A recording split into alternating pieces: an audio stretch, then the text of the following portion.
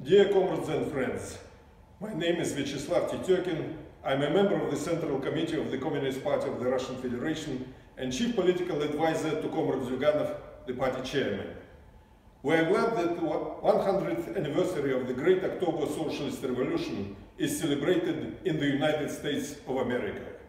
Your meeting is an important evidence that there are two Americas, one of Donald Trump and another one, the real America, of tens of millions of hardworking people.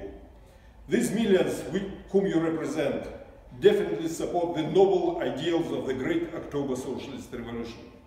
These ideals of peace and social justice, of security and prosperity for all, of access to free educational and medical care, of cheap housing and zero unemployment, materialized in the Union of Soviet Socialist Republics. Despite desperate cries of foolish bourgeois academics about the end of history, socialism continues to spread all over the world. The barbaric nature of global imperialism makes people on all the continents to look for alternatives. And the great socio-economic achievements of communist China, Vietnam, Cuba, and other countries create this powerful alternative. We in Russia keep high the red, the red banner of the revolution. Capitalism in Russia is a dismal failure. Millions of people now compare what was in the Soviet Union and what it is now in Russia. And they increasingly reject capitalism.